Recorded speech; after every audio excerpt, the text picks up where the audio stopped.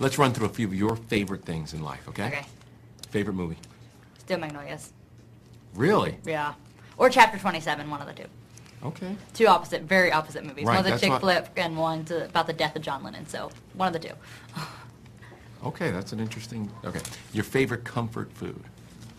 Uh, um, what's it called? Um, cake batter by Cold Stone Creamery. Ooh. So good. Ooh. Cowboy boots or high heels? High heels. I'm a small one, so I gotta wear those. Yeah. Okay. Never cowboy boots, huh? Uh, but shorts. They're cute. Okay, I hear you.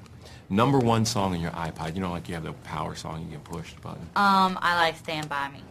Um, It's a, it's a happy song. Uh, My mom has a convertible, so it's a good song to listen to in the car. Oh, okay. Has your mom let you drive?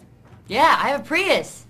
Do You you? haven't seen my little car? No. Oh, my car's awesome. I have a, I have a cheetah steering wheel, and I have Hello Kitty floor mats, Oh, and a bedazzled license plate.